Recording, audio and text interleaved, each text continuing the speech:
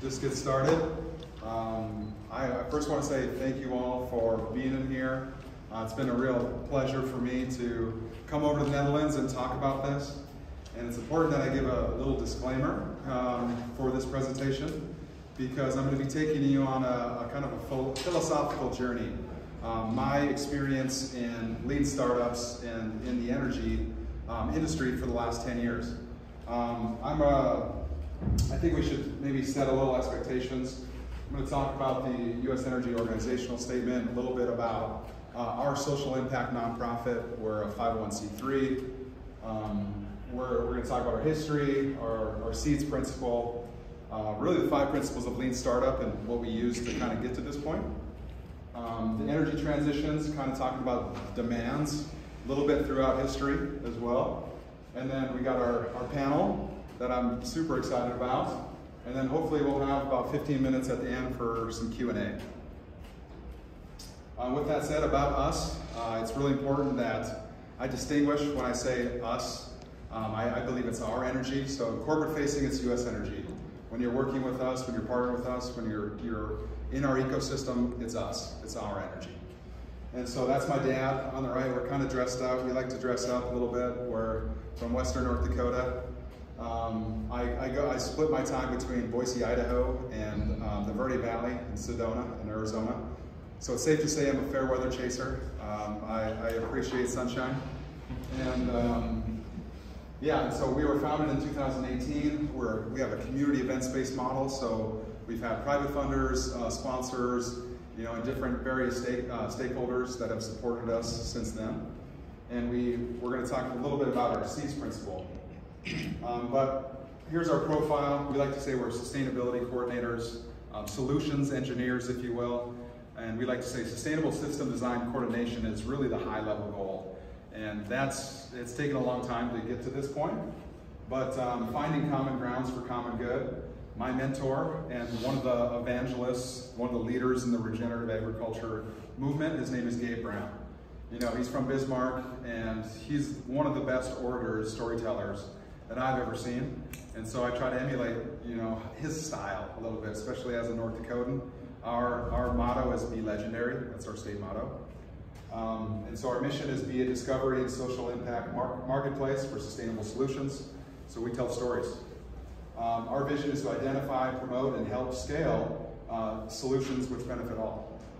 And our values, we're a, a First Nations social impact means my dad's a tribal member. Um, we're Turtle Mountain Chippewa. Uh, we, we, we call ourselves Michif, which is French Indians. You know, so North Dakota, we always joke it's southern Canada, but our tribe goes to the Great Lakes, uh, into Canada, and into the, into the Dakotas. Uh, here's a little timeline. Our first seed show, and we will we'll get into this, was in 2015 in the Bakken. And uh, the second largest oil and gas field is in North Dakota, and I'm from the seat of, of that formation, you could say. Um, 2018, we were established for 501c3, so federally exempt. Uh, the Williston PBR was in 2019. Uh, we'll talk about that event and why it's significant. But I first visited the Netherlands in December of 2019 in, in, in hopes of planning events. And so COVID broke out, where we scrapped our event, we were gonna call it Carbon Global. Um, and then uh, Impact City and the Convention and Visitors Bureau was like, you should just come to Impact Fest first. And so here we are. Um, in 2020, we, we founded the Carbon Summit, the Carbon series of events. And in 2020, 2022, we have the third iteration of the Carbon Summit. I have a student social entrepreneurship program with 30 students from junior in high school, junior, senior to freshman, sophomore, juniors in college uh, with, with three different universities. And so BEW is Boise Entrepreneur Week. That was last, or two weeks ago. We gave away $350,000 to startups and, and entrepreneurs, and I'm the co-chair of the Futurism track in that event. And so here we are at Impact Fest. So the SEEDS principle is an acronym and an analogy, and have to be very animated with this because it's a very animated thing. And so I say the SEEDS principle is sustainability, energy, education, diversity, synergy. These things, you have to plant seeds to grow community. So in students and young people's minds, you have to plant these seeds in their mind garden.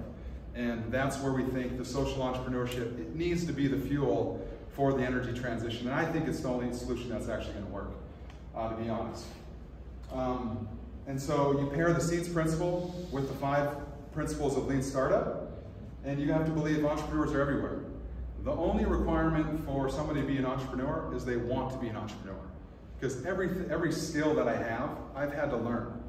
You know, and so think of entrepreneurship as this diverse set of tools in a toolbox that you have to go develop. You have to, you have to go find that. And so ideally you can learn along the way, you have mentors and you have incentives and opportunities. And so entrepreneurship is management. We teach these people how to become business owners by having them try, prototype, build, test, experiment, and, and put, put up guardrails. So if they fall down and they fail, you pick them up, you dust them off, and you say, great job, let's, let's keep going, let's keep going. And so validated experiential learning. So you're learning on the fly. You know, and we're seeing it universities having to do this because four years, you know, for a student going through university without actually testing and prototyping the, these skills is too long for them not to be boots on the ground, learning as, as they're working and building. Innovation accounting, this one is very important. So in, innovation accounting is the process of building new business models. And I'll say this, it's, it's a little controversial, but um, multinationals and governments don't innovate. Um, they need entrepreneurs and they need people to innovate for and with them. And so I've worked for Baker Hughes, the third largest oil company in the world.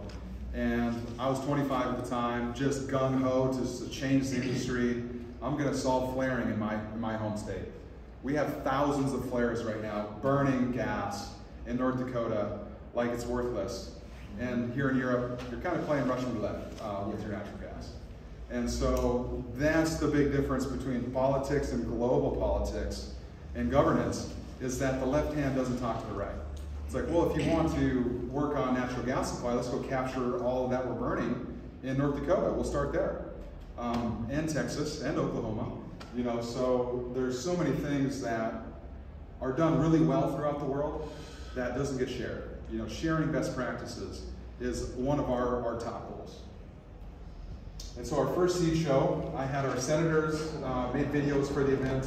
Our lieutenant governor was uh, my keynote at the, at the event. And you know, it's the seeds principle has changed a little bit since 2015, and we added an S and changed some things around a little bit. But fundamentally, it's been the idea uh, from the start.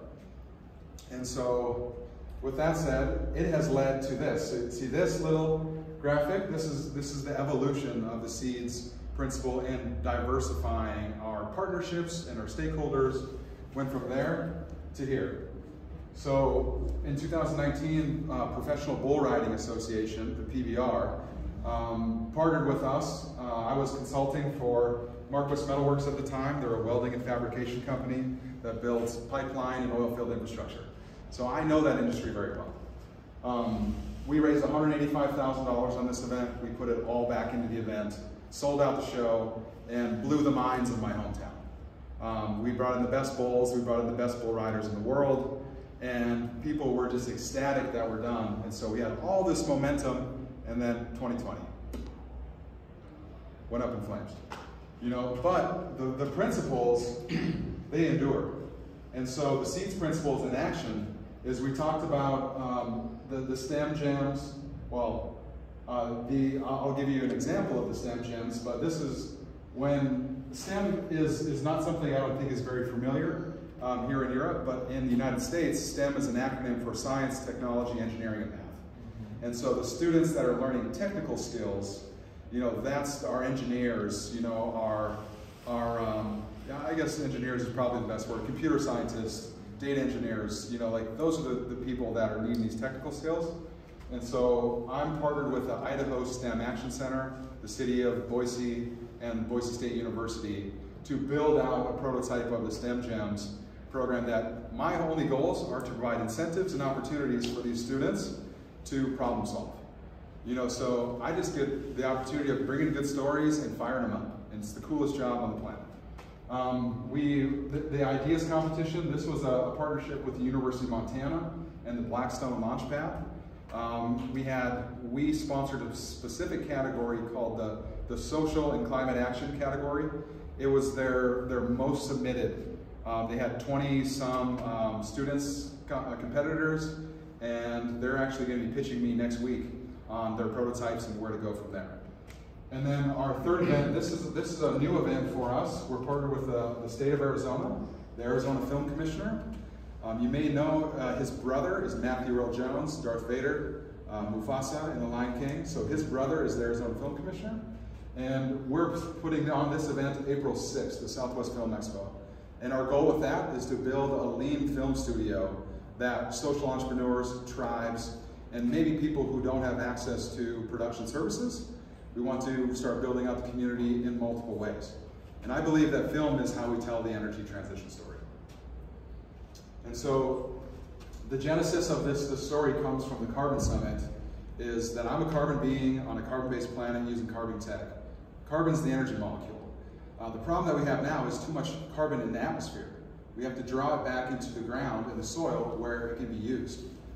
The, the plants and mycorrhizal fungi, they operate on a barter system. Plants pull down atmospheric gases, mycorrhizal fungi goes out and finds soil nutrients, and they exchange. That's a sustainable system. That's the only system that's sustainable uh, on the planet.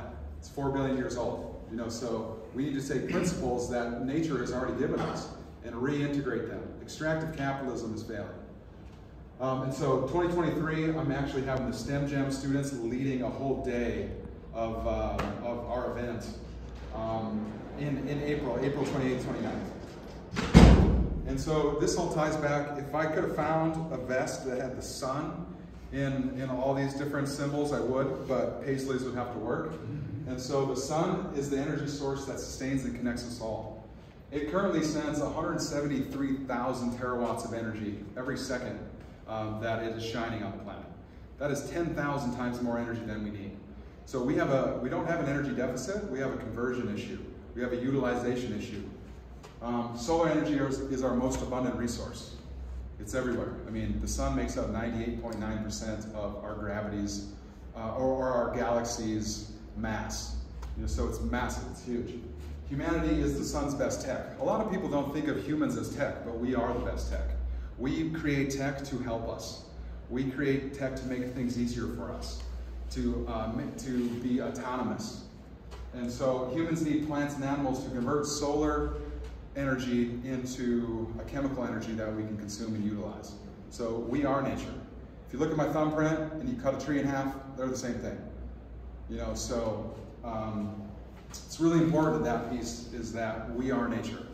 And there's often a disconnection between business and nature. Well, your nature, nature is your business. Business is nature. And so we're, we're not doing a very good job of stewarding that. Um, the sun is the universal symbol of peace, justice, equality for all, and it rises every day. And that's why I'm so excited to be in the International City of Peace and Justice, because that is a very bold statement, and I've come to see how it can be of service. And so I'll take it even farther. And this is also a little controversial because I believe all energy derives from the sun. Um, and the red energy being my muscles, my energy. Um, that's how, you know, it's taken us so far to build these civilizations. And I believe that this is the most important one that never gets talked about, is human humans' energy. Um, black energy would be called fossils, green energy, biomass, RNG, renewable natural gas. Um, invisible would be wind, uh, gravity. Theoretically, we can, we can harness gravity, but we haven't yet, you know, for whatever reason. Uh, but there is something that physically holds us um, in, in exact proximity from the sun. Pure water, blue oceans, orange geothermal, reflection mirrors, solar PV heat concentrated, and the most abundant element in, the, in our universe is hydrogen. And so with that said, we can see how this progression is going to go. You know, we've, uh, humanity has already, you know, kind of leveraged uh, human energy. Uh, we're, we're currently on fossils trying to transition into uh, renewable uh, types of energies. And I believe that the end is, is going to come with figuring out better ways to optimize the sun's, the, the sun's capacity. And I think, you know, once, once that gets done, we'll, we'll reach a, a, another level of, of humanity. And the reason I say that is because energy demands have been the causes and the consequences of, of wars and conflicts, slavery and servitude, genocide and coup d'etats. It's all related to energy. You know, so whether it's the pharaohs in, in Egypt, they needed more people to build their, their civilizations. And we are still seeing that with Ukraine and Russia. Um, it's an energy battle, you know, and so it's a resource battle. Whatever you want to call it, resources, land, food, it's all energy. Um, and so peace, you know, by solving this, we will achieve peace if we can come up with universal energy systems. Well, there's one that's already quite available. Uh, the reason that is, because this is, here's 2000, I mean, uh, this is 1990, here's 2020. So 30 years in the age of technology, you would think we would have made leaps and bounds in the, the, the types of energy that we're using. So we've actually, we've at, we lost a little oil, we've added more coal, we've added more natural gas, 2% in renewables in 30 years. That's the capacity that we have. So if we plan to reach 2035 and 2050 goals, the, the proposals on the table right now will not work. They're just not going to work. Because the people that created the problem are being expected to solve the problem, but culturally it's a cultural problem. You know, so we have to think outside the box, and that's why I say social entrepreneurship is the way to do that because I can plant a million seeds, you know, across the world without individually talking to all these people, getting them excited. When they're ready, they come and they say, hey, like, look at our solution, or look at this, look at that. And then those are multipliers. Those things work together. And to take it even farther, if you look at 100 years of global emissions, the only time they've ever um, gone down is, is from conflict, crisis. We need to stop being a crisis society. Humanity has never come together for common good. It's only come together to fight common bad. And this, the, da- the proof is in the data. You know, so if we're going to make this transition happen, what we're doing right now is not working.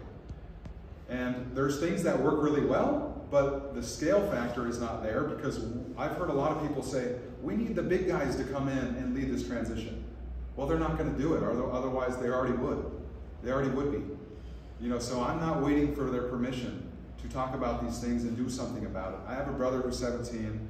You know, I, I work with students all the time. They get it.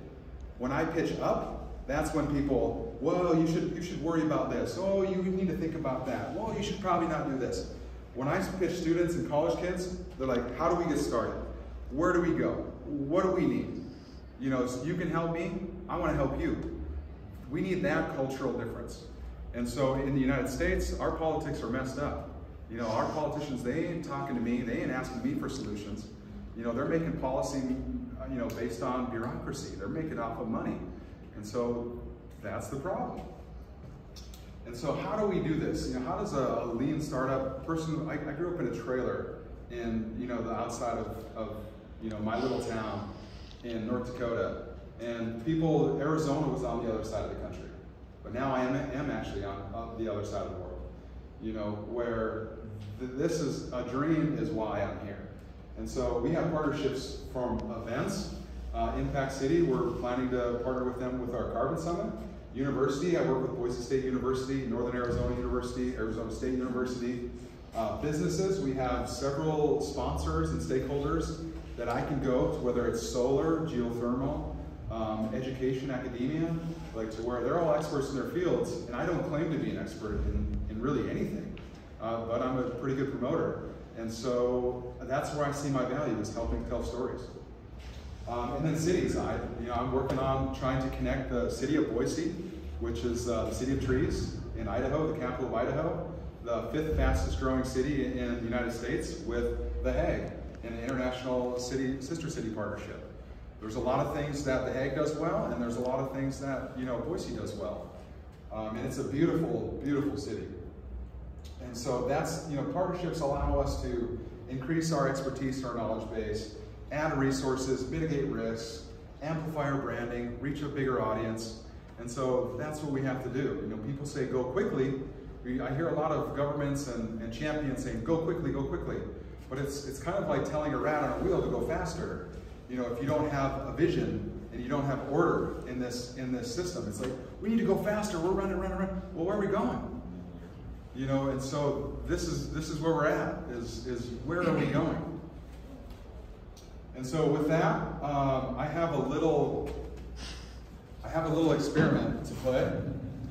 And this is, everybody's gonna take it, everybody's gonna take it. And so I was supposed to give these out right away. Supposed to give these out right away. And I was gonna tell you not to open them. but those are those are all yours. There one that has like a million No, no. Well, see, this that's the start. This is the seed of that million. The other one has a million. And so the reason I want to I want to give you guys these um, is is for the fact that probably haven't seen a two dollar bill, and it's our most beautifully designed bill um, in the United States, and it actually has our Declaration of Independence on it. So this guarantees my right to dream. Um, it's actually in our Constitution to dream and be able to petition my government to challenge their stances on things. And so as an American, it's my responsibility to petition my government to do the right thing. And this is this shows it right here. And so what I want you guys to do is some people aren't particularly excited that it's all white guys, you know, on there. Um, and so I say, hey, if you had the perfect uh, dream or the perfect picture, what would you paint that? You know, and then think of it when you look at that bill, look at it, it's like put your dream into there. And then see, and ideally it's a souvenir, you know, it's an energetic exchange, it's a gift, you know, that in my culture on my Native American side, is that when you meet people and you meet new tribes, you bring gifts, you bring offerings of saying, hey, I want to, I want to get to know you, you know, I want to help, I want to be of service. And so with, with that said, um, I, I tried to rush through that because I don't necessarily want to be um, the key focal point here. I think I, I want to under, try to understand um, the, the Dutch and, and the Netherlands and how we can be of service because there's things that you do very, very well. Um, and one of the things to think about is you can't grow anymore. There's, you can't expand your borders.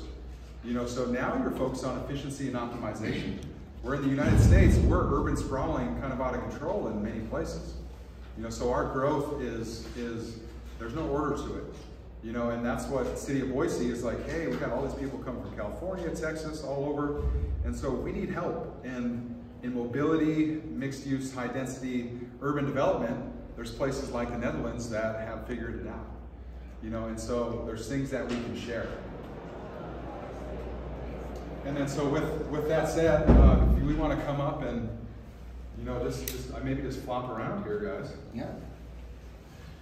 Come on up and, oh, well, see, I downloaded the, Well, I'll pretend to be Roy. okay. So we had a, a last minute substitution with unknown, but yeah, let's bring, it- yeah, let's bring them up. You guys want these or these? Maybe those with backs? Yeah, sure. Yeah.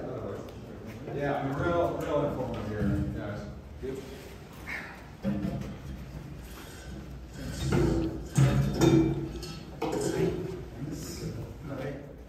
no, to meet you.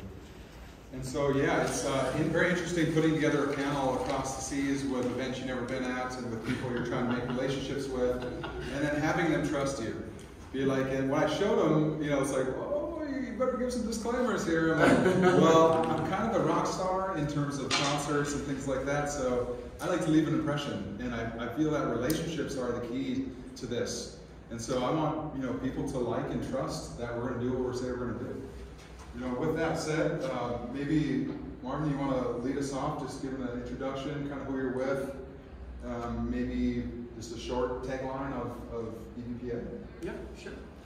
Uh, I'm Martijn Blom. Uh, I'm with EVPA. EVPA is a network for investors for impact, as we call it, uh, in, in Brussels, European, over 300 members, foundations, corporates, and impact funds. Um, personally, that last group is my group. Um, I run the Impact Funds Initiative, and I help some of our partners that are in the process of setting up uh, impact funds. Um, and before going to the person next to me, um, I used to have a company, I still have a company actually, which, which was called Dream Business. So I was kind of struck by your, uh, uh, you know, uh, uh, right to dream. Uh, uh, we tried to bring that to business for a while as well. Um, yeah, we'll talk about that later. we got two, two guys come in here. Let me, let me share this.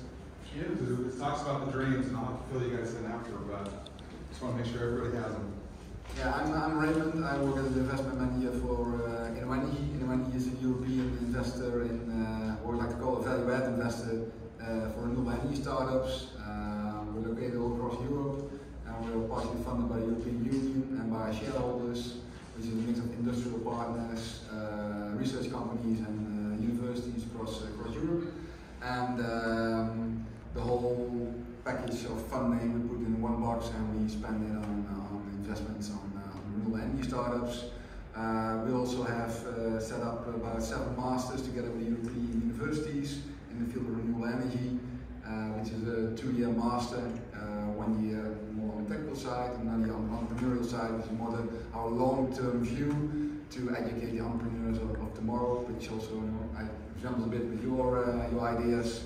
And uh, if, if those people don't start uh, their own company, we try to incorporate them in our ecosystem uh, across Europe, you know, to become an employee within our startups, within our ecosystem in, in Europe. And uh, we have a portfolio of about 200 renewable energy companies in Europe, and about 700 million euros so far since 2010 approximately, which makes us one of the biggest in the world uh, when it comes to renewable energy entrepreneurial startups. First, uh, thanks to Jason for uh, giving us a, a, whirlwind of a story around energy, connecting uh, philosophy, religion, history, and war and entertainment. Um, but there's enough uh, seeds in there for us to uh, pick Think up. about, So yeah. Thank you for that. Um, my name is Peter Scheijgrond. I'm based here in The, Hel- uh, in the Hague. I was going to say Den Helder, that's where I was born. Uh, that's a navy town, and that is uh, also the journey for me to start uh, working in uh, marine energy. And uh, means uh, all sources of uh, energy that you can harvest at sea. Uh, temperature difference, uh, salinity difference, tidal energy, wave energy, floating solar, and more and more looking at integrating those solutions in the wind farms that are coming up. As you rightly said, the Netherlands is a very small country, so our energy transition is also taking place at sea. And uh, I believe uh, the next 30 years, the biggest changes are going to happen there. And there's a lot of pressures coming together. And what I do is I create projects, and I go to uh, raise uh, kind of funding to apply there and, uh, put a consortium together with a focus on getting demonstration projects in the water now that hopefully will contribute in 2030 to the to our uh, targets for uh, offshore renewables. Alright, well, uh, unfortunately I'm not Roy. um, my name is Noah Paul, uh, I'm a scout leader at Logo. And uh, what that means is that I'm the one who looks for startups uh, for us to invest in, but also uh, for startups that we can support by connecting them with corporates to really scale their solution. I think as Justin also rightly said, is uh, corporates are notoriously uh, bad at change. and uh, innovation and open innovation is one way that they can accelerate this. And what I do in my everyday and kind of work is that I meet great founders with amazing ideas powering the energy transition. Well, thank you guys for that, and you know, I'm, I'm, I have to say, I'm very excited uh, about this this panel, just from the diversity of organizations, you know, thoughts. Other than, you know, I try to get some women on, on here to be to be quite honest, and they were all booked before that we could we could get them, um, you know. But I, I think that diversity also comes with ideas, thoughts, different places. Like you, you guys may never meet somebody from North Dakota. I mean, there's lots of people in the United States that don't meet North Dakotans. Um, but it's the frozen tundra, it's the northern Great Plains, um, and so it's just a, it's an honor to be able to come here and talk talk like this. And so there's very different needs, like in Idaho, Arizona, North Dakota. Even there, there's a big difference in diversity from the, the northern plains where it's frozen half the year to the the um, Sonoran Desert in, in southern Arizona uh, with, with Phoenix and, and all that. And so just thinking of, of what your civilization or your society has done, you know, it's, it's interesting to think that the Netherlands can't really grow. Um, you can't expand your borders, but you're focused on efficiency and optimization now. Um, and, and, that's a really interesting place to be in because, you know, as I said, we're still sprawling in the U.S. and in parts of places, so we need to share those best practices. So that would be maybe we go down the line here and say, where do you, how, how would you define the energy transition? And what would you say is probably a, a big opportunity you know, in, in taking action? If you, if you allow me, I'll translate to my expertise, which are the funds, and I'd like to I'd like to refer to, to, to a WhatsApp message that I actually got yesterday uh, uh, of, of, of a befriended investor um, in this in this in this in this community of investors, small community, and he said like, is it just me or are the energy funds like uh, popping out of everywhere right now? Um, probably has to do with COP currently going on in Egypt but there's there's definitely there's definitely a lot of interest and a lot of funding coming up about energy. Now, the um, question is, is it this rat in the in the wheel that you were talking about? Is it uh, uh, labeling funding in a different way and not really uh, really uh, creating any result because climate is a popular topic? Or is it really gonna really gonna make the change? But I definitely have some examples of good funds that I've saw popping up uh, um, early stage, often starting teams, so all the problems you can have to, to start fundraising on the, on the climate sector. And I think one of, I personally like the, an initiative from, from Luxembourg that started a couple of years ago, uh, also a member at EVPA, um, that has actually set up an accelerator for these early stage funds. So it's an accelerator not for the company, but an accelerator of starting funds. And I think these new funds, these starting funds, deserve deserve more support and more more funding uh, uh, because they can actually um, react more like the students you work with, like uh, not go faster in the same wheel, uh, but go faster on a different track and see that the change can happen. But I think my neighbor has some experience in that, actually funding those initiatives that have maybe difficulty funding as well and yeah. a bit more um, risk taking on, uh, on that. So yeah. yeah, that's correct. I mean, uh, you know, and he was founded by the European Union actually to, to accelerate the energy transition. I mean, it's, it's in our core, in the core of the company, and uh, especially focusing on innovative startups that have a positive impact on the energy transition. And uh, we can already start at a, at a very early stage, TRL 3 to 5, where normal VCs would say, well, you know, first uh, uh, take out the energy and the technology risk, and when you have your first customer, we might be interested, and they all hope that you come up with a software proposition because you know deep tech, high tech is all very scary and will it work, etc. So um, for us, energy transition is, is like you know ensure the energy uh, safety and security, and, and, also decrease the, the cost of the of the energy and uh, over the supply chain, which basically means make renewable energy affordable and accessible to everybody, in, first of all in Europe, but also the rest of the world uh, decrease CO2 emissions and also when it comes to renewable energy also improve the uh, competitiveness of, of Europe. Uh, so what we like to do is have the value chain approach. Uh, first of all, when companies come into a portfolio, we try to connect them with an ecosystem to de-risk uh, their proposition, whether it's supply chain related, whether it's sales related, pilot project related. And yeah, I think that that's what it comes down to when, when we speak about uh, energy. I'm really excited about InnoEnergy actually to have further conversations just because you are a leading investor in this energy transition.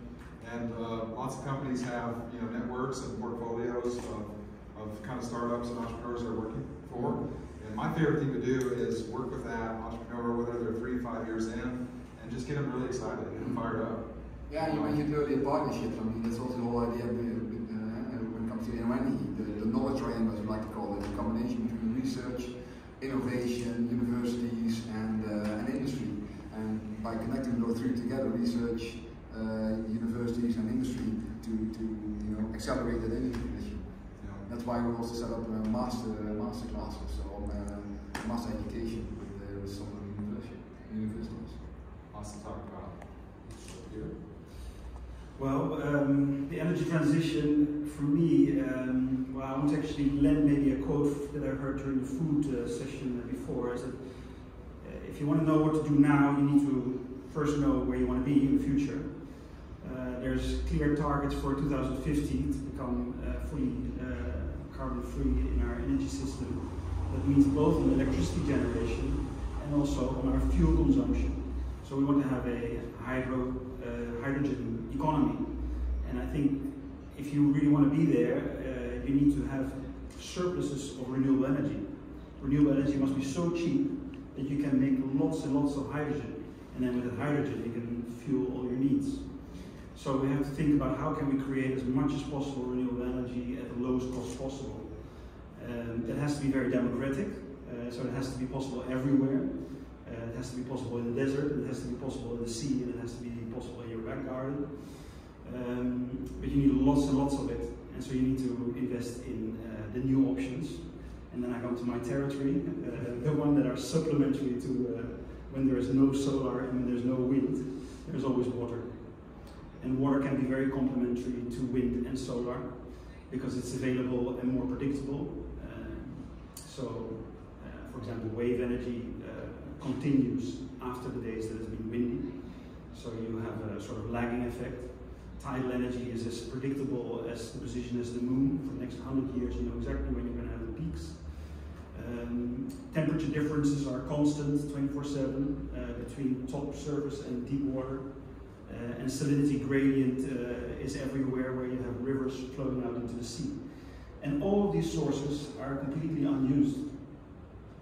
And if we would have solutions for that, we would not have an energy crisis.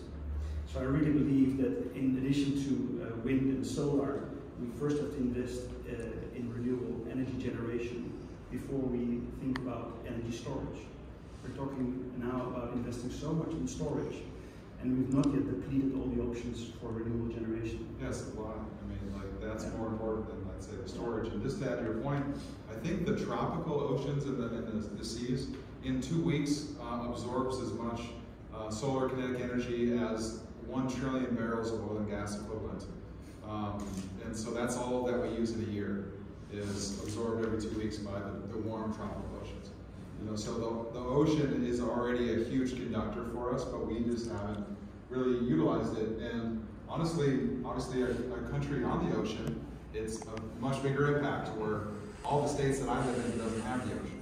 You know, so water is, you know, the rivers are our main generation sources. We use dams, uh, and those have been controversial uh, for our salmon in Idaho. Uh, we know that the salmon are going to go extinct in, in about seven years. And so that's the, the balancing act. It has to be nature inclusive. Yeah, yeah. Everything that we are working on now, is, especially in new territories, the sea space, has to be new nature inclusive. So, but before that, we need to test, test, test, test. Yeah. And maybe you can ask Piotr, because you're an investor in one of those solutions. Why do you believe? Floating why- solar again. Sorry? Floating solar again. Yeah. Yeah, that, that's a, of course an exciting new opportunity. Fill the gaps between all the wind farms offshore with floating solar, balance off, and the wind's not blowing there as often sunshine. So we have a much higher total uh, energy production capacity by doing that. And the grid's already kind of there, the infrastructure is there, right? To a certain extent? Well, it goes, the, the trouble is, too, not too much technical, because the, the, so- the solar is much many peaks, so that, that the high peak is too high for the grid that's already there. Gotcha. So that you need to upgrade it, but in principle, yes, there is sort of. Some some And you can calculate it like you need only like five percent of the Dutch coastal uh, seawater covered with solar, only five percent to, to, to generate enough electricity for the Netherlands.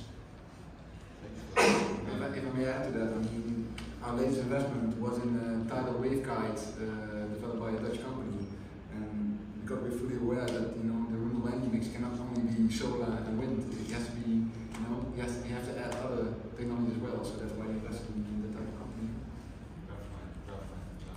Yeah, so the energy transition uh, for me is a, more of a systematic shift away from huge centralized parts, such like oil refineries, oil fields, uh, the big um, tankers and all the storage tanks and all that, uh, to more decentralized system where everyone has a little bit more closeness to uh, be able to create their own energy, for example, solar panels or uh, energy storage um, at your home.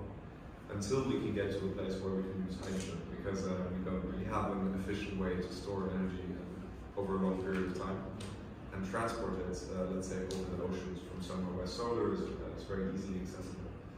Uh, so that would be uh, it for me. In terms of opportunities, obviously, I spend all my days working with entrepreneurs, so I think my, my answer couldn't be more uh, clearly, clearly stated. But uh, I believe entrepreneurs will be the ones to fix, to fix the energy transition. And there's many great ones here today, so I, I hope you also have a chance to, to meet some. Well, yeah, thank you guys for sharing that. It's really important that we understand the context because energy transition means different things to different people, different things to different countries, different things to different governments. And so uh, the goal of kind of this panel is to find common ground, you know, kind of that common good. And uh, we, we, we talk about lean startups, we talk about partnerships, and events, I think, is where collective actions can happen. Because I wouldn't have been able to meet you guys in any other situation you know, other than an event like this. And that's where I've always found, um, I started doing events in 2013. Uh, not anything good for the first couple of years. I was losing money and frustrated as heck. But um, every time I did an event, something good would come out of it. I'd meet people, they'd, you know, they'd cheer me on, or they'd be like, hey, we, we do this, maybe we can help you next year. Or you just don't know what's gonna happen when you, you know, show up to things like this.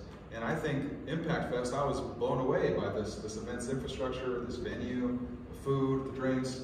You know, like this is a big undertaking here um, that, you know, sometimes it happens at big conferences in the United States, but this feels a little different. I think this feels um, really positive. Like I'm really encouraged, you know, by being here and just seeing. I, I think I've heard impact um, quite a bit from every out of everybody's mouth, which is not the case, you know, sometimes in the United States. You know, so that's where we need to come and tell, you know, the impact stories that are already being done, done here. And then I need to bring them back to the United States and say, hey, look what they're doing. We can do this too. You know, so I have to bring back best practices to share with politicians, our big corporates, you know, because, you know, as, as we've seen maybe in the world wars, once the United States gets involved and takes it seriously and says, hey, we're going to do this, they, we have a very loud voice. Um, whether or not it's been used for good uh, recently, that's definitely debatable. Um, maybe not that good. And so we'd like to change that, and that's the, the common grounds for common good. And so what would you guys say uh, maybe the biggest challenges that we see, you know, for this transition in, you know, kind of catalyzing it or helping it go into a full-scale type of approach? Even from a networking standpoint of what, you, what is your network how do they feel about, you know, maybe entrepreneurship or sustainability, climate action? Um, with the risk of sounding a bit like a broken record here, um, the opportunity is always the other side of the challenge, right? So the, the um, uh, I think for this energy, for this energy transition to, to, to, to succeed, we need we need to support different things new things, things that go beyond imagination a bit, whether it's solar at sea. I think like a lot of people in uh, in uh, in the Netherlands don't have a have a have a clear view or clear picture in their mind what it is about. So we, I think the biggest challenge is that we start investing in same same old same old uh, with with different kind of funding, and that's from a funding perspective. Uh, I don't know if you agree, but I, I would I would support investing in those funds and investing in those companies and really do something new and really get that scale up in, in, in big time. Do things different and not do things in the pace that the existing industry wants us go because it's probably too slow to late. Yeah, I think one of the hurdles is probably also willingness amongst incumbents. I mean, really feeling the need and urgency to, to change. Um, I think the last couple of years with the whole pandemic, etc., showed that if you really need to change and you want to do stuff, then it's absolutely possible to do stuff.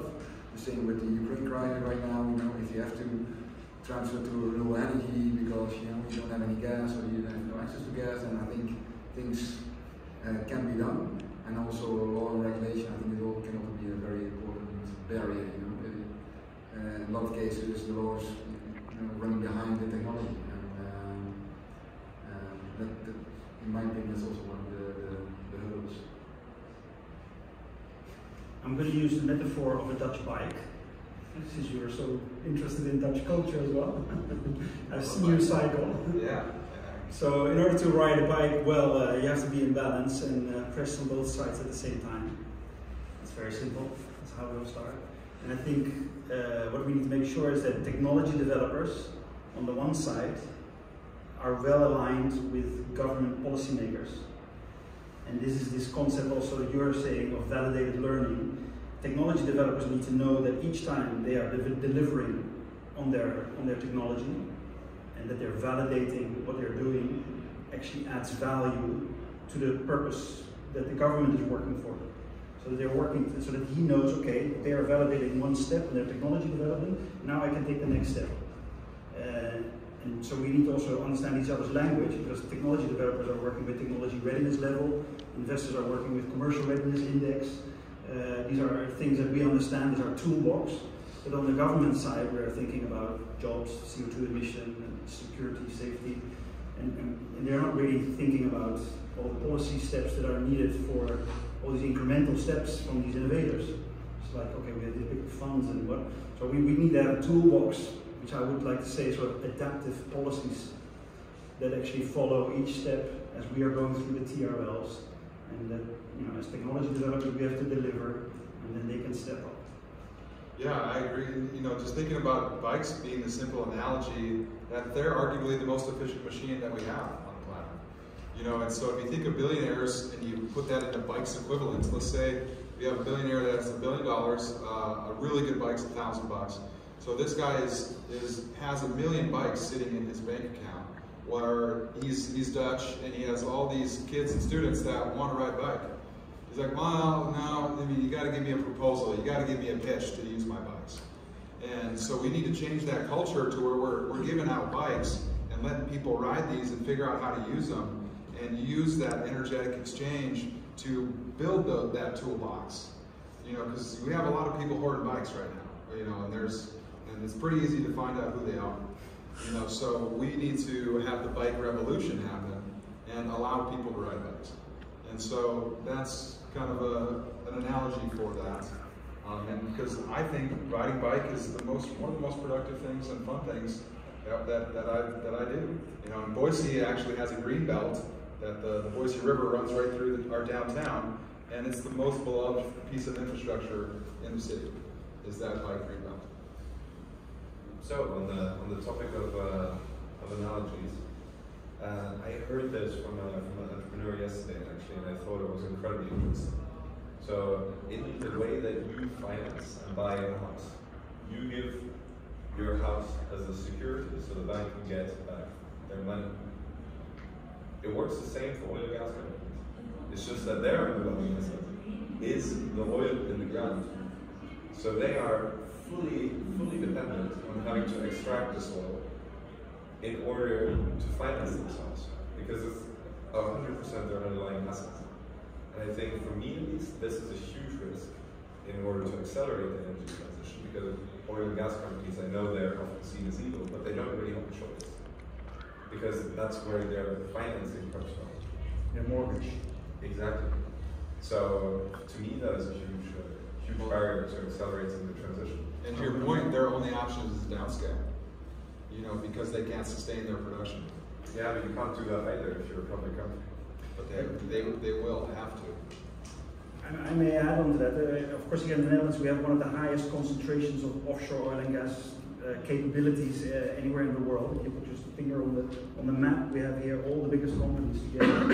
and those biggest companies, uh, if you ask them individually, Heerema, uh, Huisman, uh, Blue Water, all of them, they're starting to, uh, Van Oord, they're starting to get on the tipping point where more than half of their income is already being generated from offshore wind developments. So it's only the other half that is oil and gas, and that is that is already diminishing. Of course, it will be there for some time. They are actively pursuing and looking to invest in renewables. We just have to help them show and de-risk the technologies that they can install and build. And, just to add your point, that was very interesting. Uh, point about oil and gas, like in the Bakken, in our in the second largest oil formation in North America, they they have five to seven years left of the production capacity that they're at now, and the, the formation is already sputtering. You know, so uh, Department of Mineral Resources has already said, hey, like we've peaked. You know, we're at peak oil right now, and so that leaves a five to seven year window. You know, to transition before our supplies start going like this. It's not going to go like this. It's going to go down. You know, because you have these are pressurized wells. You have to drill. You have to drill, then you and you dr- drill horizontals. You know, so you're going like this, and then you're going down for miles. And so once those are depleted, you've depleted the whole field. You know, and so that's one thing that you know people I think Middle East doesn't talk about is they talk about demands, but they don't talk about their supply. You know, because if you said, well, we only got 10 years left, well, we need to transition right now. You know, so they're not telling you what their supply is at. They're trying to extract the most value out of those stranded assets. If they're, stra- they're stranded if they can't sell them, you know, and so um, they don't want to talk about stranded assets. And so maybe uh, if I can put another asset uh, against it, uh, the targets for, for the North Sea for offshore wind development is uh, 150 gigawatts of offshore wind uh, between now and 2050. Uh, and over the next eight years, we're going to have to do 10 times more than what we've done in the last 10 years. So it's, it's, there's a huge uh, growth market for oil and gas sector to be involved in realizing those ambitions. So the, the attractiveness side should be on that market pool. Yeah. And so the wind is the next asset. You know, and Equinor is a great example of that. You know, like they're backed by the Norwegian government, kind of, I'd say, and so they have this tremendous resource pool. So allow having their culture change because they used to be Statoil when I was growing up, and they were a big presence in North Dakota. Um, and then once Anders Opedal took, became CEO, I was so excited. It's like, hey, we're Equinor now. We're transitioning. Sent him a message. He sends me one back. Connects me with his uh, one of his VPs of development. And they basically say, hey, Jason, sorry, we're selling all our North Dakota assets. Um, they're too, you know, essentially they're too dirty. Uh, without saying that, but saying that. And say, we're out, you know, sorry. And it's like, oh, okay, is this the strategy of the, you know, the, the multinationals, is just to sell their dirty assets and say they're clean on a sudden? You know, it's like, history doesn't forget that, you know, and so um, I want, and usually when they sell those dirty assets, it's to a lower standard company that are willing to take those assets on and extract the rest of those resources. So it's a double-edged sword. You know, that's a that's a slippery slope there. And I'd say so. In, in, in catalyzing the energy transition, I found that students and entrepreneurs they need two things. They want those opportunities and they want incentives. And obviously, the, the, the, the main one is, is capital investment. You know, but how is how is maybe your organization, EVPA, how are they offering incentives to maybe build your network? Hmm.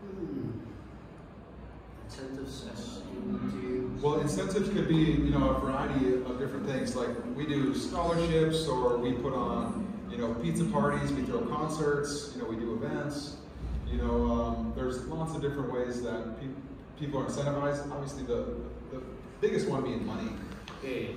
and maybe maybe how you use that, you know, for an investment. Our biggest incentive is, is, is work, working, together and providing the knowledge and the experience that one has to, to the other uh, and, and, and providing this poss- possibility, possibility to share either in events but also in our reports, in our research, uh, also in our trainings, uh, um, um, but also just just by connecting, which, which, which always sounds a bit fake and most of the time I'm looking to events as well and people are just, just talking, but I was just at a session right there where a couple of our members got together, not on the topic of energy, uh, but it could be the topic of energy, by the way, but it is on the topic of health. And they really said, like, we want to kind of group together with three big organizations. It was Bayer Foundation, it was um, uh, uh, Social Value NL, it was uh, uh, Ingelheim on health. And how can we provide healthcare to those that need it the most? And how can we fund those organizations that are developing it in one go instead of all going our own, big own uh, steps? So I think there's a lot to be done there. There's a lot to be done on impact, on kind of um, uh, connecting connecting the impact measurement and all the. So how do we really prove that what we do is we do well, uh, um, and how can we make that talk to each other? Um, so yeah, that, that, that's the incentives. Uh, I don't know if that's our, that are incentives, but it is the incentives that we have for our members to join and to cooperate and to, to group. Well, I, I like to, when I come to an event, I talk to people, you know, that whoever is willing to talk, and I ask them about companies. So it's like, well, this is our panel. Do you know any of these guys? And then uh, what the feedback I get from EVPA is it's a good network. You know, and so that kind of sums it up right there. It's like you're a good network. You know, that's that's important. You know, Yeah, so- it, but it, it, I always what I enjoy most about the network is those people, like a person like Eleni from WeShare. If you if you get the chance to talk to her, she's just she's just she's just using the network in the best possible way. She's just grouping these people together and saying, let's start doing something together Yeah, instead of just talking. And that's uh, uh, when a network uh, uh, has real real value, Value. real impact, real money, real uh, things. Yeah. So maybe that could be a good opportunity as well to connect with their network and see if we can get such a community of practice around um, energy. Yeah, if you look at incentives, if, if I go through the, the different uh, stakeholders we have in our ecosystem, for example, the, our Shell, I mean, they, they put in a significant amount of money to be part of the, the ecosystem of the Shell, and they don't have an immediate return in, uh, in, in, in uh, investment incentive money, but they're have a front row seat at all the latest uh, innovations when it comes to renewable energy. So that's why they become a part of, uh, of InnoEnergy as Shell. If I look at students, uh, they have the opportunity to to start their own renewable energy company and be part of, uh, of our ecosystem as an employee. And uh, we also have uh, our annual event called Business Boost, where we bring together all our startups, about 50 to 200, uh, where they can pitch, present themselves, uh, where we bring in our VC community, our ecosystem to connect. And again, there's maybe not re immediate return on investment when it comes to you know, make a deal, but connections are made. And indeed, that's maybe a bit vague, but in the end, it always leads to something. So I think that's also an important incentive for our startups. Uh, apart from the fact they have the opportunity to to, to live their dream in that sense. But everybody started with a dream to have some kind of technology, turn it into a product, and to sell it and make this place into a better, better world. You know, InnoEnergy, I think you're in a really unique position um, to help catalyze these things because you have a university. You know, you're, you're working with the EU. Um, you're connected with all these companies. Uh, it's just, you know, a matter of, for me, it's like, okay, how do we, how do I add this social entrepreneur fuel to your infrastructure, or your vehicles, and kind of blast off is, is, is what I'm working on in my mind when I think of your organization. Yeah. Um, yeah, for me, oh, sorry, there's a question. Yeah, I just, I, is it okay to ask a question? Yeah, yeah. Um, first of all, thank you. Um, I, I suppose it's important for us to remember that it is, we're in the middle of an energy transition. And you uh, spoke earlier in your presentation about this, sometimes this disconnect between business and nature. And you made reference as well that in the choices that you're making, you're talking about nature inclusivity. And what I'm curious about is whether there are criteria for funders uh, that will actually say go or no go from a nature perspective on a particular project because we don't want to make the mistakes of the past about the consequences of particular choices. So I'm, for example, very curious about the long-term impact of batteries and what happens 20, 30 or 40 years down the line with these old batteries. And, um, you know, it's just really to see is there a criteria uh, within the funding, for example, to say no go or no go on a project, rather than the short-term impact of the renewables for now. So that was my question about the horizontal aspect of solar versus the impact on the marine life moving back to this kind of European protection of the marine. So it's just a question. So, For a funder. Well, about what I suppose it's what nature inclusivity means and how that impacts a funding decision. Well, if, if I look at, for example, the, the company that we recently invested in, which is the Tidal Wave company, Mhm. they have to deal with all kind of permits, including you know what's the impact on on sea life and what's the impact of the kite when they move through the, the waves, and so from that point of view, we, we look at it. And I, mean, uh, speaking about batteries, I mean there will be a law in place, but it means that battery factories in Europe also need to dismantle the batteries when they come back and cannot just simply ship them off to China or Africa again. So uh, we see also an increase in, in proposals of uh, startups that working on the, uh, the reuse of batteries, but also you know uh, remining, if you like to call it like that way, of batteries. Take out the lithium again, and and even with AI and robots, and uh, so so it's, certainly an, an issue that we're looking at. Yeah. Maybe I can add to that. Uh, within my domain, then at least, uh, government, of course, can set up tenders where there's uh, conditions set for nature inclusivity, and that is being done now for the offshore wind farms, Mhm. where they have to address this. And I actually believe that this can be a big enabler for nature restoration. If we're going to develop 150 gigawatts of offshore wind, Mhm. and other sources of renewable energy. And if government is going to be sort of setting out uh, industrial areas at sea, because that's basically what it is, instead of on land, I'm going to give you a, a piece of sea, then they can set out those conditions, and it can be a driver for na- nature restoration, because you can, you know, build artificial uh, uh, reefs as part of your uh, infrastructure. Yeah. But those things have to be demonstrated first, and then part of demonstration is certification. So, and that is why we need to test, test, test, test, and develop certification schemes to prove which measures are effective and to demonstrate that a measure can actually be scaled up in a wind farm and be, be positive. Yeah, because it's, it's the in comparison to what is kind of the question. Sorry? And it's the in comparison to what. So where does the, you know, like what is what is a positive impact and a negative impact? Yeah. Um, and that, that's kind of It's a holistic uh, assessment, which is yeah. difficult to make, Yeah. uh, but you, you can only do by scaling up your, your, your tests each time. But definitely. one driver is money. Uh, there's a lot of impact investors that are looking for blue carbon financing now. So they want to see where they can do mangroves or uh, seaweed farms or whatever, to- as long as there's CO2 absorption. And uh, if it's not successful, they will not invest. Uh, and they're investing now, and then you'll, you'll see which ones are going to be solutions. And uh, maybe I can also add that, uh, we're quite heavily involved with a few uh, offshore wind developers.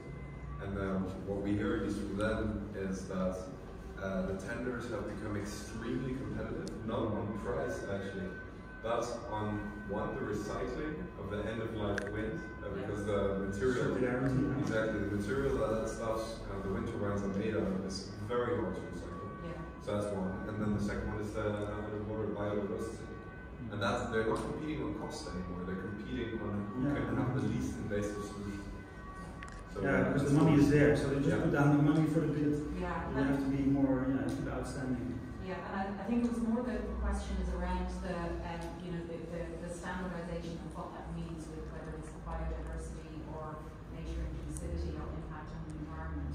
In that, um, you know, sometimes when see proposals come in and, you- and, you look at it and seen, is it seen more as a tick box with the standard, um, you know, standard criteria that would, you would have seen historically in gender, for example, which would be like we do 50-50 on the team that doesn't address gender or equity, and I think it's the same risk in the future that comes in in relation to nature and environment and impact of the choices we make today. So it's just more of a question curious about. I, I truly don't think there is a standardized way. Yeah. You see it now with, with impact measurement, whether it be to public or private companies. Like ESG scores. Shell has a higher ESG score than Tesla. Yeah. Because it has, it doesn't make a lot of sense. ESG is, is, is actually a tick box regulation scheme, of course. So Yeah. Well, if Shell and BP can be ESG, then it's really on the bare minimum that you can get, I would say. It's not the impact, right? So yeah. Was- a study conducted um, by communicators exploring uh, what company, how companies were, reporting in northern Italy. And um, when they were talking about ESG standards, what companies were doing in corporate communications was actually highlighting not from point zero, but from a point further on the scale, which appeared to show a higher uptick. So visually, it looks very powerful, but when you drill down to real data, then it's probably a need minuscule change. It's still a change, but it's more about that aspect of how um, how you define or, or set the boundaries on, on what the standard is to make sure that the mistakes in the past aren't made. So Well, I, I, don't, I, don't, I also don't have a clear answer of whether there's, Yeah. there's regulation and rules and you know standards in place, but it, it definitely refers to in a more broader sense to, to, to, impact. And you say, I walk around here and I hear the word impact out of everybody's mouth like a hundred times, but there's a danger in that as well of eroding the concept of impact. And, and, and, and, and with that positive impact, uh, do a lot of uh, you know impact washing or, or greenwashing and, and, and, not being aware of the negatives that can come with it as well. And I'm actually quite happy to hear that in the, in the energy sector that uh, there, is a, there is a lot of attention for this. Um, I would wonder though if, if, if uh, you know uh, inflation increases or um, um, um, financial uh, values get under pressure, uh, whether or not this is the, the first thing or the last thing to be taken out. But I, I, I let, let, me, uh, um, I think that's, that's something to keep in mind at least, that to keep discussing. Well, and, and, it sounds like, I mean, it just sounds like what's, you're just asking what's the standard? You know, it's like, where's the standard? Um, and that's my question as well.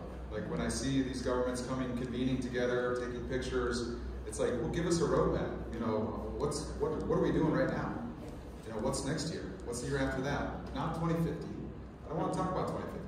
Tell me about 2022. Tell me about 2023. Let's start there, where we are. And so you have to meet people where they are and, and you know, work with them to define where we're going. And that's the biggest frustration I see with you know, the United States is that you know you have a, a, democratic government that is putting you know billions and billions of dollars into the Infrastructure Act, and it's it's kind of like throwing a whole bunch of uh, stuff on the wall and seeing what sticks. That's that's kind of the, the strategy. And it's like that's not a good strategy. I like to say healthy order creates better chaos, and we don't have the healthy order um, in in society in in global politics, and so we're seeing all this chaos. Know, and so it's like we need to order this transition on in phases and roll it out in steps in order for it to work. Because if everybody's all doing their own thing, it's a it's a tremendous waste of energy. So think of it as like a cloud bubble. Right now, we're just going to talk about collective actions here in a second. But let's let's all agree that um, good food is important. And so I'm going to say this cloud bubble, with me looking at it with my attention laser, is good food is important. And now all you guys are putting your lasers on this, this cloud bubble. It goes and then people buy into it and that's how things grow. And so that's what I say the power of dreams is that if we dream together, nothing is impossible. Because we've already built this, you know, all these, these systems. And so it's just the next evolution of these systems is the inflection point that we're at right now. And, and so with that, with know, how can we take, as a social entrepreneur, as, as networks, as companies, how do we take uh, a collective action step maybe together? Unknown is, unknown is, is already taking collective will yeah. switch it around. Yeah, I mean, uh, this is basically uh, what we do. so, uh, yeah, supporting events like, like Impact Fest uh, that uh, officially hosted by the City of The Hague or also just last week, uh, we had uh, an event with Nobian where we're introducing four startups that are now actively helping Nobian to reduce uh, their energy consumption. We do that in, three main ways. So we help, help startups get connected with corporates to actually bring their solution to scale because I think in, in energy entrepreneurship that's a, a big, big problem. It's uh, great to have an amazing solution uh, for let's say one megawatt, but how do you then take it to 20 so it's uh, applicable to a company like Nobian or Shell? Uh, we also have spaces. So we have uh, Titan, of course, where we're going to host 50 uh, impact scale-ups, and a lot of those also in energy.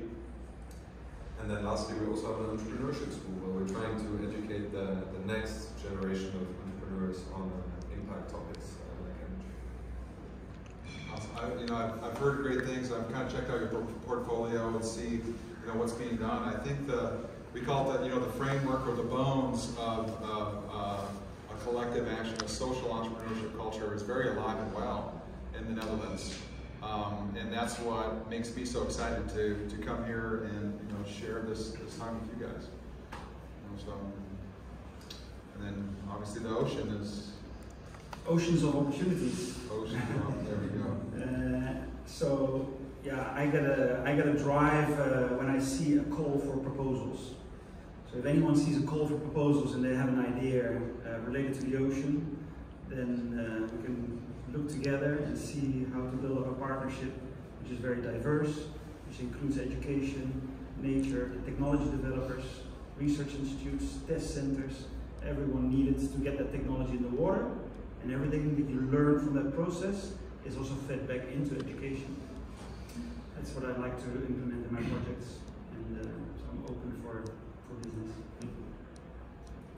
yeah, we talk about collective actions. One another thing we do uh, with uh, Energy is uh, managing uh, 3D industrial value chains, where we bring together, for example, the whole value chain when it comes to battery. Uh, European Battery Alliance, from mining to reuse of batteries. Um, we have the European Green Hydrogen Acceleration Center, where we bring together all kind of parties uh, when it comes to green hydrogen. We uh, brought parties together to set up the first green steel factory in Sweden, uh, where we had the approach like, you know, okay, first go to the customer. Is that customer prepared to pay a little extra to have green steel in their cars? Okay, if that one is prepared to pay a little bit extra, what's the, the next step in the value chain? Are you also prepared? And then when everybody is lying, go to the green steel manufacturer, to the steel manufacturer, say, okay, are you prepared to, to, to manufacture green, green steel with green hydrogen? And um, if all the other people or companies in the value chain are prepared to they also take a little bit of the additional cost. And the same we try to do now for the um, for the solar uh, uh, business, the, the really innovative solar business in, in Europe, to, to try to avoid to sell out all the knowledge what we did with the conventional solar PV and, and bring it to China and, and lose all the knowledge. So if you talk about collective action, that's also one part that we're focusing on. I'm gonna, I'm gonna give a bit of a different kind of answer to this question, and I don't, so please allow me, but I, I hosted a panel not too long ago, and it was on climate finance. And the people introducing the topic, uh, one by one, started with, if we don't do anything now, hell will be upon us. If we don't do anything now, we'll die. And although, although there's some truth to it, unfortunately, um, um, my question to them was, okay, but what's the fun bit? Ah, okay, so what, what, what, what, what is that? What is that future? What does it hold? And actually, there was hardly any answers to it. And what I like about this session, and I think I would put it to the collective, uh, collective energy in this in this group as well, is, is that it's positive, right? We talk about dreams. We talk about uh, uh, having a, a cool pro- project with, with, with solar on seas. Uh, we talk about. We even talked about bull riding, which I need to come back to because for a Dutch person, that's like a, a concept that that's like is that like bicycling? Yeah, yeah, yeah maybe yeah, yeah, this might be a bit wilder. Way more extreme. Um, but bring in, bring in, bring in the fun while we're doing these awesome things together, and, and don't forget to, to, to celebrate all the wins that we. Yeah, and that's a great point because people only do things for two reasons. If you fear it, you're scared of it, you like it, you love it. That's it. You know, so you either doing it out of scarcity or you're doing it out of abundance. And so if you talk about the positive, the hopeful things, that's where people get excited about. You know, people don't want to doom and gloom. And you know, one of the things I, I, hear a lot is the planet's not in danger. The planet's not in danger. I'll, I'll repeat that. Humanity's in danger. She's had five extinction periods. She's over four billion years old. She'll start over. She'll get rid of us. It's that simple. The planet's not in danger. And so there's hope in that. You know, it's like, okay, all right, our our accountability, our you know, our society, our humanity, like we're in control of, of what we do. You know, and so if we're the, the planet's highest sentience, if we're the, the best version of tech that the planet produces, we should, we, you know, you learn as a little kid, you don't bite the hand that feeds, and you don't shit where you eat. You know, and so we do both of those things. You know, so we need to stop doing those things. It's like we need to love the planet. It loves us. It gives us everything for free. You know, we we create scarcity by by selling products and, and setting up, you know, corporations. And so if we model after nature, she doesn't ask us to pay, you know, her for sunlight, for vegetation, for for the animals, the the, the bees and the pollinators that, that that pollinate everything for us. You know, so we, we can learn some, a lot about nature that, that we've forgotten. And I think humanity actually translates into the ones who forget. And so we've forgotten more than we know um, as a civilizations. So we need to just get back to remembering that um, the planet has already uh, developed these perfect systems over billions of years. And so the solutions are, are already in front of us. And so that's where my next my next is, is the power of partnerships, and, and I've been able to figure out um, how to leverage and utilize partnerships to, you know, produce events, to raise money, to uh, have entertainment, um, to integrate social impact into these events, and then talk about solutions. And I, I find it so, it's the funnest thing for me is to pitch in front of kids. When I say kids like this, the 17 to 25 year olds, I'm 35 now. Um, but, you know, so not too far away, you know, from them, but they just get so excited and they're so conscious. And so when you think of the young people, they are the planet's best tech. Their capacity is off the charts for, for information. They can scroll and scroll and scroll and scroll and scroll, and you'll ask them things, random things, and they'll know. You know, they'll know something about it. And that's the hope is in these younger generations who are the best tech. You know, so we need to start asking them what they're willing to work on, what they're willing to produce, and how they need to get there. Instead of going up, you know, to the, the older generations that have this, this cultural callousment, you know, about it, like to where if things may not have gone perfectly in their life, there's some bitterness or some resentment there, and where those kids don't have that. You know, they're, you know, kind of these unpolished gems. And that's what I've, I've, I've found, and I don't think I gave the story of the STEM gems, but uh, I'm wearing uh, some jewelry that, this is a blackjack jasper. This is a rock in the Owyhee Mountains in Idaho, and my, my, my one of my best friends is a lapidary uh, silversmith. And so if you were walking out in the mountains in the desert, you know, it's a high desert in southern Idaho, and you've seen this rock in, on the ground, it looked like a dirty old rock. You wouldn't even know it was a gem. But you give it to him, you polish, he polishes it, cuts it, sets it in silver, it's a gem. You know, so that's kind of like students, you know, they're uncut stones, you know, like to where we're setting up the STEM GEMS program, and Idaho is actually called the Gem State. Um, we're setting up the STEM GEMS where these students, we say, hey, what kind of gem do you want to be? You know, it's like, we know you're the stone right now, but we're going to help refine you into the, the gem that you want to be. So we're going to set up your, the incentives based on what you care about, and we're going to provide opportunities around what you care about. You know, and so we put up guardrails for them to take on, you know, to start their entrepreneurial journey. And that's been very rewarding for me.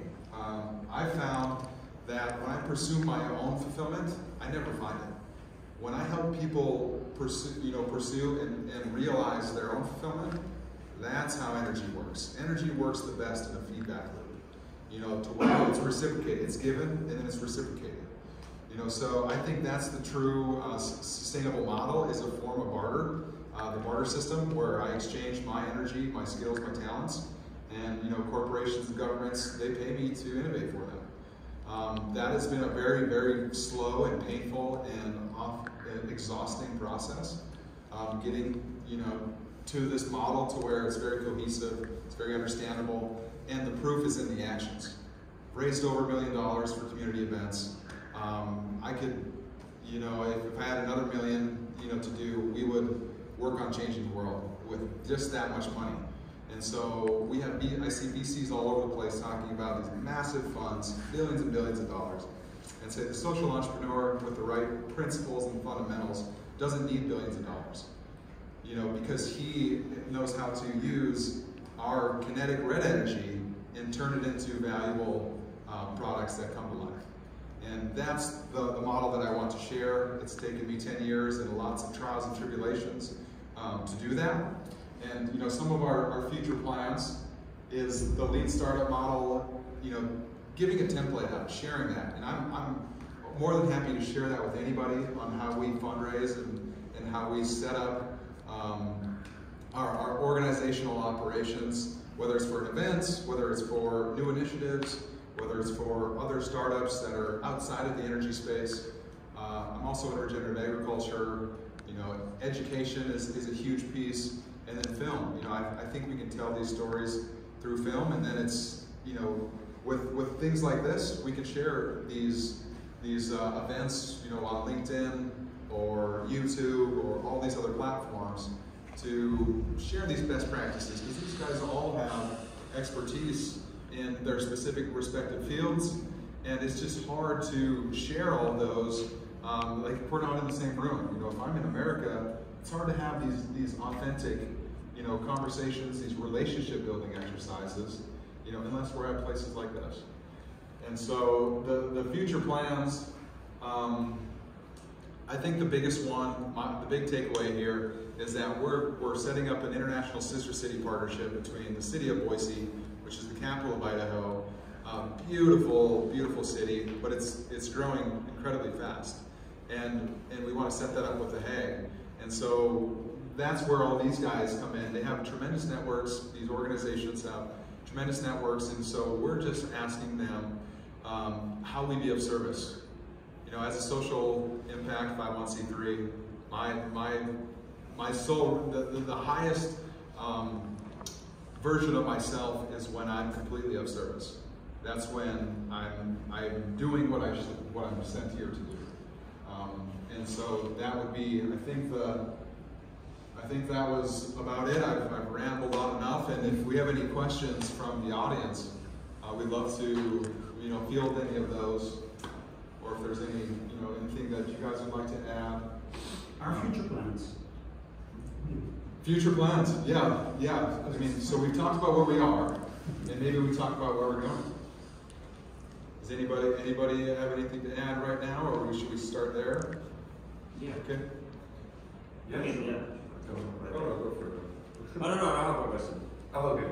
Well, and uh, we're currently in the process of uh, setting up a lot of different funds with big corporates where we can actually invest into startups to then also uh, do projects with these big corporates to accelerate uh, the energy transition. And, and that's such an important piece is convincing the corporates to allow those opportunities to happen. Yeah, but they have buy-in. They have skin in the game. They have because a lot of the time we see, yeah, they're, they're excited up until they have to do stuff. Um, the ca- the, the caveat being they're excited until they got to write a check. That's where the accountability with corporates is at, is writing the check. So I'll know when people are serious when they're saying, okay, who do I make the check out to? That's when you know that they're serious. Yeah, so that's also the, the core thing with, with our group is that we want to work with corporates who are serious about uh, actually working with startups, innovating, and don't just want to keep doing the same thing, business as usual.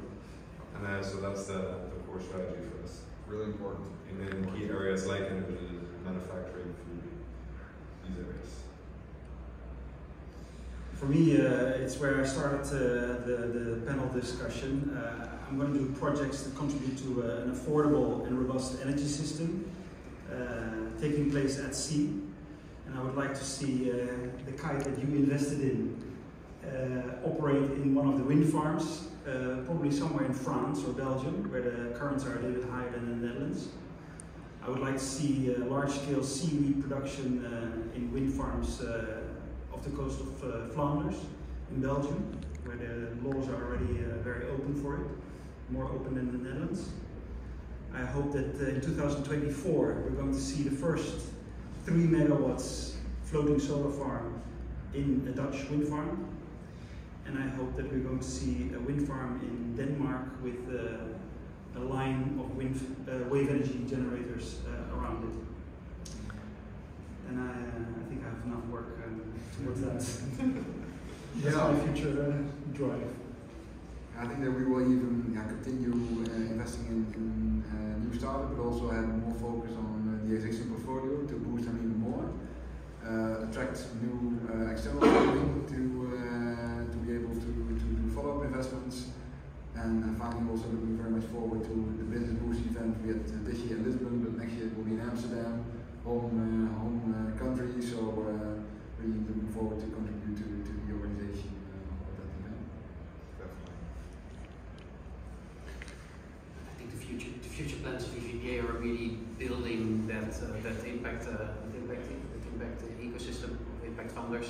Um, um, for me personally, it's to broaden and deepen the whole sector of impact funds. Um, to deepen because I see that there's still a lot of money that needs to be deployed and finds no way to uh, to current funds because there's a mismatch in what big capital search for and what the impact funds have to offer. It's in liquidity, it's in all these kind of things. So, so helping some organization on that. And to broaden is also to kind of, kind of bring it to, to geographies where it's where it's less known right now. So I help uh, set up impact funds in, uh, in countries east of the EU right now, we're going to do it in MENA um, uh, as well. And we start simple. So I have a, I have an awesome job there really, is to come in uh, and, and tell to kind of confuse people that say we don't have the legislation and experienced investors say that we need to start with 40 million. Um, they can't really deploy it. Where should I start? So what do, you, what do you really want to do? And just get started with small amounts of money. It's like the startups you work with, but then Yeah. with the impact funds, uh, we'll do the we'll do the big things uh, when we're a couple of years uh, uh, onwards, and everybody has the experience of doing so. So uh, building the ecosystem uh, uh, to go forward. And, uh, Yeah, there's so many synergies, thank you guys for, for sharing all that. And so, you know, when we, you know, at the conclusion of this event, I just, this was a finding common grounds um, exercise. And then we say for common good, you know, for social impact. And so there's, out of all, what, what all of your organizations are doing, I can find synergies, you know, just with what I'm, what I've done or what I, what our group has been doing. Like thinking about, when you have a portfolio, what I'd say with, you know, future plans or collective actions is like, hey, I'd like to take the top three, you know, your guys' rock stars and help them tell their story through film. You know, and with, with Peter, it's like, hey, if you want to connect with more oceanic entrepreneurs, it's like, hey, we in California, you know, like they have some really great funding opportunities. And um, uh, NOAA is, is one, you know, that, or the National Science Foundation. And it's like, I'd be happy to share anything you want on our LinkedIn. You know, and then for, you know, it's like, hey, I might have to go to grad school and, and uh, test out that, that program and, and see if we can do some prototyping there. And obviously EVPA, I think you're more structured like, like us in the terms of the net, the powers of the network. You know, and that's, you know, you guys are planting seeds kind of all over the place. And so it's just more seeds, you know, more, more gardening. And, and uh, for context, my dad calls me the war chief. Um, and he's, he, I grew up, used, he, he always used to say this saying that it's better to be um, the warrior in the garden than the gardener in the war. And so, uh, culturally, you know, I've, I've had to fight and I've had to battle, you know, to get corporates to care, you know, sometimes, especially in, you know, remote, remote North Dakota where the agricultural community that we, that we, that we were when I grew up got kind of terraformed into an industrial complex. And once that transition happens, you can't go back. Um, you, you can, but it takes, you know, that, that, that extraction has to stop before it can change back. And so I joke, which is not necessarily a joke, that I'm a political refugee from North Dakota. Um, just because we have thousands of flares that are going on around my town, and people don't, it's not just gas that's coming out, it's carbon monoxide, it's, it's uh, hydrogen sulfide, it's dioxin. You know, these are, these are air toxics that are literally poisoning my town. Um, and so that's a, that's a, a, sad thing to talk about. Um, and doesn't get talked about at all in the, uh, the global view of oil and gas. And so those, but that's a reality, that's a truth. And so if people feel a certain way about it, that's the truth, you know. Um, and it's unfortunate that I have to do this and, and come to different countries to say this. Um, but the people in my hometown, they don't want to hear it, you know. They're kind of being poisoned and, and uh, they, they, are forced to buy into this, this system. And so when you talk about that energy demand, we can go back to slavery, servitude, you know, indenturedness, it's still happening. Uh, it's in first world developed countries. And so it's, it's a different form, you know, but we still have to talk about it. You know, it's very uncomfortable to say that, you know, but I have to say it. And so with that, you know, let's end on a good note. I, I'm very thankful and honored that, that you all joined um, with this panel. It's, it definitely helps me get a better understanding. And I'm, one thing I'll say about the Netherlands and the Dutch is that you, the conversations have about sustainability or climate action are so vibrant. You know, like they're so welcomed. You know, here and they're, you know, more recent the last couple years, they've changed. They're changing in the United States, but like, oh, you're a tree hugger, or oh, you're this or that. I'm like, I'm a realist.